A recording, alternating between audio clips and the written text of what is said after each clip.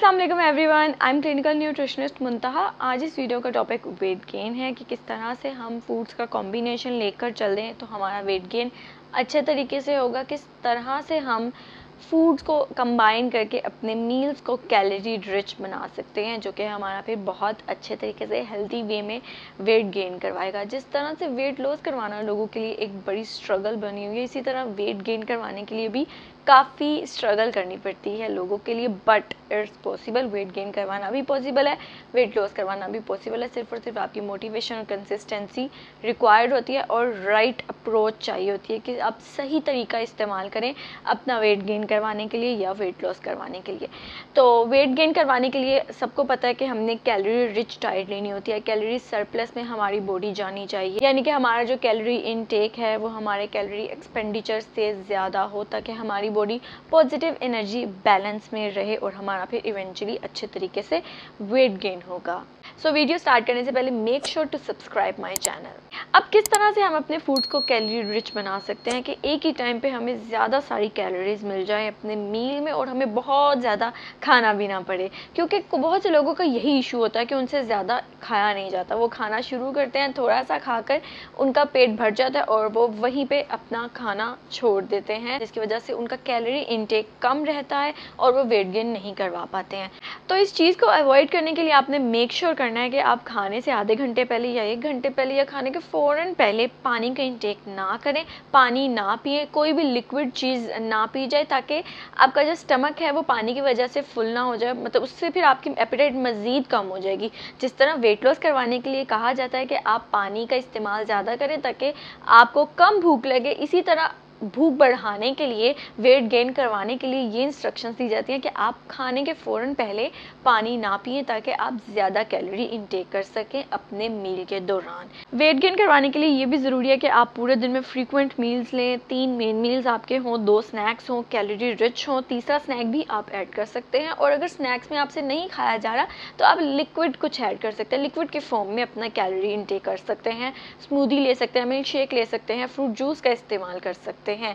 Weight gain करवाने का process तो वैसे ही बहुत अच्छा है, क्योंकि आपको इतना कुछ खाने को मिल जाता है और आप डिलीशियस मील्स का कॉम्बिनेशन लेकर चल सकते हो। तो अब हम बात करते हैं कि ऐसे कौन से फूड्स का कॉम्बिनेशन हम लेकर चलें अपने मील्स में तो हमारा बहुत अच्छे से एक calorie rich food calorie rich meal design हो जाएगा। कैलोरी डेंस फूड्स वो होते हैं जिसकी एक सर्विंग में कैलोरीज ज़्यादा हो। जैसे फॉर एग्जांपल अगर आप एक सर्विंग लें मिल्क की तो उसमें 160 कैलोरीज मौजूद होंगी फुल फैट मिल्क में। और अगर आप वन सर्विंग लें फ्रूट की तो उसमें वन सर्विंग में 60 कैलोरीज मौजूद होंगी। तो आपका कैलोरी डेंस फ़ूड कौन सा हुआ?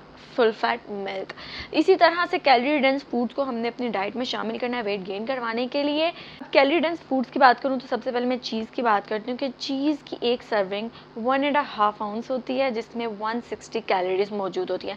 वन एंड हाफ़ आउंस आपके तीन जो लुडो के दाने होते हैं ना, उसके इक्वल होता है। तो देखिए कितना छोटा साइज़ है उसका, और 160 कैलोरीज आपको वो प्रोवाइड करता है। तो अगर आप चीज़ को अपने नाश्ते में ऐड करें, अपना ऑमलेट बनाते हुए, उसमें one and half ounce add करें चीज़ या फिर आप थ्री आउंस भी डाल दें तो उसकी दो सर्विंग आ जाएँगी। तो 160 प्लस 160 सिर्फ़ आपको चीज़ से मिल गई है। काफ़ी ज़्यादा अच्छी कैलोरीज आपके ब्रेकफास्ट में इंक्लूड हो गई है। उसके साथ आपको ऑमलेट की कैलोरीज भी मिलेंगी। ऑयल जो आपने यूज़ किया है उसको बनाने में, उसकी कैलोरीज भी जा रही हैं, फिर ब्रेड जो आपने लेनी है उसकी कैलोरीज भी जा रही हैं। तो एक बहुत अच्छा सा आपका कैलोरी रिच ब्रेकफास्ट भी बन जाएगा। उसमें अपने वेजेस भी ऐड करनी होंगी डेफिनेटली उसको ज़्यादा यमी बनाने के लिए टेस्टी बनाने के लिए। तो अगर आप चीज़ को अपने ब्रेकफास्ट में इंक्लूड करेंगे तो ये आपके ब्रेकफास्ट को कैलोरी रिच बना देगा। यानी कि आपको बहुत ज़्यादा खाना भी नहीं पड़ा एक्स्ट्रा और आपकी जो मील है, आपका जो ब्रेकफास्ट है, उसके कैलोरीज भी बढ़ गई हैं। तो ये एक बहुत अच्छा आपको पॉइंट मिल जाता है। अगर आपको चीज़ पसंद है, अगर आप चीज़ लवर हैं तो इसको डेफिनेटली अपने ब्रेकफास्ट में या अपने किसी भी मील में ज़रूर शामिल कर सकते हैं। इस तरह चीज़, आपके कैल्शियम का भी बहुत अच्छा सोर्स है और आपको हेल्दी कैलोरीज भी मिल जाएँगी। इसके अलावा अगर हम चाय का इस्तेमाल करें कॉफ़ी का इस्तेमाल करें, उसमें हम फुल फैट मिल्क ऐड करें तो वो भी हमें कैलोरीज प्रोवाइड कर रहा होता है। उसमें भी मिल्क की कैलोरीज हमें मिल रही होती हैं तो वो भी हमारे लिए कैलोरी डेंस फ़ूड बन जाएगा। अगर हम उसको भी अपनी पूरे दिन में शामिल करें तो वो हमारी कैफ़ीन की नीड भी पूरी हो जाएगी और हमें कैलोरीज भी मिल रही होंगी।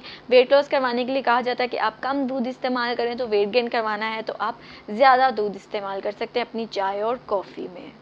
अगर आपको चावल खाना पसंद है, मैक्रोनी पसंद है या पास्ता पसंद है तो आप उसको भी अपने मील्स में शामिल कर सकते हैं। वो भी calorie rich calorie dense food में इंक्लूड होते हैं। अब हाफ़ कप राइस या पास्ता लो तो वो 80 कैलोरीज प्रोवाइड करता है। तो आप आराम से वन कप से ज़्यादा इजीली हम राइस या पास्ता खा सकते हैं, जिनको फेवरेट जिनका पसंद होता है। वो आराम से इसका इंटेक अपना बढ़ा सकते हैं। तो इसका इंटेक पर बढ़ाएँगे तो उनकी कैलोरी इंटेक भी बढ़ जाएगी। अगर वो तीन सर्विंग ले रहे होंगे like one and half cup आप मैक्रोनी लेंगे वन एंड हाफ़ कप या राइस लेंगे तो वो आपको 80 प्लस 80 प्लस 80 कैलोरीज प्रोवाइड करेगा। तो अब मैथ्स आप कर लें, फिर कितना बनता है?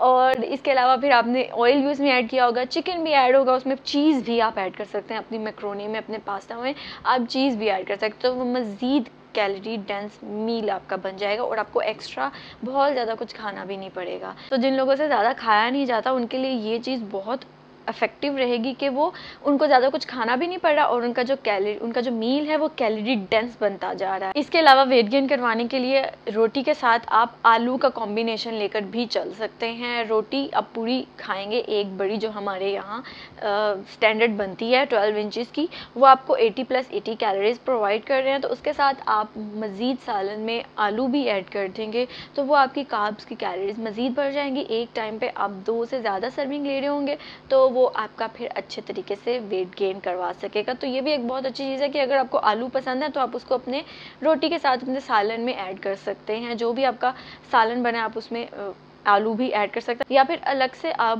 बॉइल्ड पोटैटोज भी ले सकते हैं अपने स्नैक में या अपने मील में इसके अलावा अगर आपको क्रीम भी बहुत पसंद है तो आप इसको अपनी कॉफ़ी में डाल सकते हैं ताकि वो मज़ीद कैलोरीज आपकी इंक्रीज़ हो जाएँ उसी कप में। फ्रूट जूस भी आपका कैलोरी इंटेक बढ़ाने के लिए बहुत इफ़ेक्टिव है। जब आप फ्रूट जूस बनाने लगते हैं तो एक गिलास बनाने के लिए आपको पाँच से छः फ्रूट इस्तेमाल करने पड़ जाते हैं आराम से। तो आपको पाँच से छः फ्रूट्स की कैलोरीज मिल जाती हैं उस एक गिलास में, जो आपके लिए ईजी होता है पीना। तो इस तरह से भी आप अपना कैलोरी इंटेक बढ़ा सकते हैं। मिल्क शेक बनाते हुए भी आप उसे कैलोरी डेंस बना सकते हैं, जैसे फुल फैट मिल्क लें, उसके अंदर बनाना ऐड करें डेट्स ऐड करें, कोई और फ्रूट अगर आपको पसंद है तो आप वो ऐड कर लें। हनी ऐड कर सकते हैं, उसमें आप नट्स ऐड करें। पीनट बटर अगर आपको पसंद है तो आप वो भी उसके अंदर ऐड कर सकते हैं। तो वो एक ग्लास में ही इतनी ज़्यादा कैलोरीज आपको मिल जाती हैं। हेल्दी और कैलोरी डेंस स्नैक भी बन जाता है। तो ये भी आपको वेट गेन करवाने के लिए बहुत हेल्पफुल रहेगा।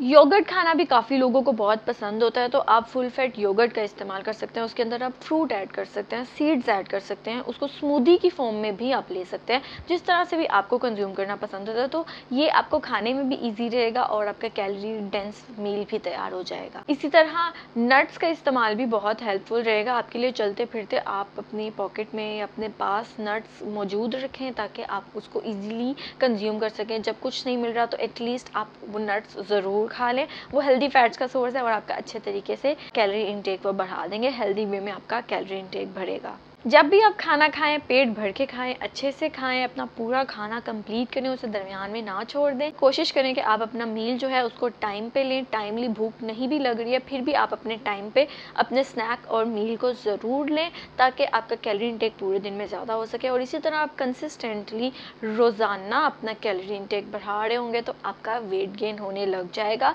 अगर आप इस तरह से करेंगे कि दो दिन आपने ज़्यादा खा लिया, बाकी दिन आपने कैलोरी इंटेक बहुत कम रखा है तो ऑब्वियसली फिर वेट गेन नहीं हो सके सकेगा। तो कंसिस्टेंसी यहाँ पे आपको चाहिए होगी। कंसिस्टेंटली आप अपना कैलोरी इनटेक बढ़ाएँ, अपनी बॉडी को कैलोरी सरप्लस में रखें ताकि आपकी बॉडी वेट गेन करवा सके। अच्छे तरीके से हेल्दी तरीके से साथ में आप एक्सरसाइज ज़रूर करें। मसल स्ट्रेंथनिंग एक्सरसाइजेज करें वेट लिफ्टिंग करें ताकि आपका जो मैक्सिमम वेट है वो मसल मैस की तरफ़ से हो मसल मैस आपका गेन हो। एरोबिक्स करने की ज़रूरत नहीं है वेट गेन करवाने के लिए, क्योंकि वो आपका फैट लॉस भी करवाता है मसल लॉस भी करवाता है। तो उससे आपने अवॉइड करना है और अपने मसल स्ट्रेंथनिंग और वेट लिफ्टिंग की तरफ़ जाना तो इस तरह से ये कैलोरी डेंस मील्स अपनी डाइट में शामिल करें फूड्स का कॉम्बिनेशन लेकर चलें, ताकि आपकी बॉडी कैलोरी सरप्लस में जाए। अपनी बॉडी की कैलोरी रिक्वायरमेंट काउंट करें कि आपकी बॉडी को वेट मेंटेन करने के लिए कितनी कैलोरीज चाहिए, जो कि आपका बीएमआर होता है। फिर उसमें आप 500 कैलोरीज इंक्रीज करें देन आपका वेट गेन होने लग जाएगा। जाएगा। अब वेट गेन करवाना है तो कैलोरीज आपने अपनी बढ़ानी है। तो इसका क्या मतलब कि आपको जंक फ़ूड खाना पिज़्ज़ा बर्गर खाना अलाउड है? आपको कोई रिस्ट्रिक्शन नहीं इस चीज़ की। तो ऐसा नहीं है। अगर आप एक हेल्दी तरीके से वेट गेन करवाना चाहते हैं तो आपने इन चीज़ों को अवॉइड करना है। आपने जंक फ़ूड को फिर भी अवॉइड करना है। उसकी रीज़न ये है कि उसमें सेचुरेटेड फैट का कंटेंट ज़्यादा होता है।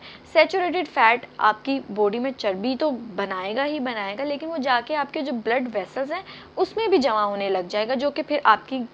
ब्लड वेसल्स को तंग करेगा और फ्यूचर में आपको ब्लड प्रेशर डायबिटीज़ या हार्ट का मसला होने के चांसेस बढ़ जाते हैं। तो इसलिए आपने हेल्दी तरीके से वेट गेन करना है ताकि आपकी हेल्थ इफ़ेक्ट ना हो, आपका कोलेस्ट्रॉल लेवल ज़्यादा ना हो, आपको हार्ट डिज़ीज़ के चांसेस ना हो। तो आपने हेल्दी तरीके से वेट गेन करवाना है, अपने पाँच फ़ूड ग्रुप्स को एक साथ कॉम्बिनेशन में लेकर चलना है ताकि आपका पूरे दिन का कैलोरी इनटेक ज़्यादा हो। Whole grains protein fats fruits vegetables dairy इन सबको साथ लेकर चलना ताकि आपका कैलोरी इनटेक ज़्यादा हो पूरे दिन में और आप अच्छे तरीके से हेल्दी वे में वेट गेन करें जिससे आपकी हेल्थ भी अफेक्ट ना हो। इनफैक्ट जब आप अपने हेल्दी बीएमआई पे आएँ तो आपको किसी भी डिज़ीज़ होने के चांसेस कम हो जाए, आपकी इम्यूनिटी बढ़ जाए। सो आई होप आपको ये वीडियो बहुत अच्छी लगी होगी। इसे अपने फ्रेंड्स एंड फैमिली के साथ ज़रूर शेयर करें और मेरे चैनल को सब्सक्राइब करें। Thank you so much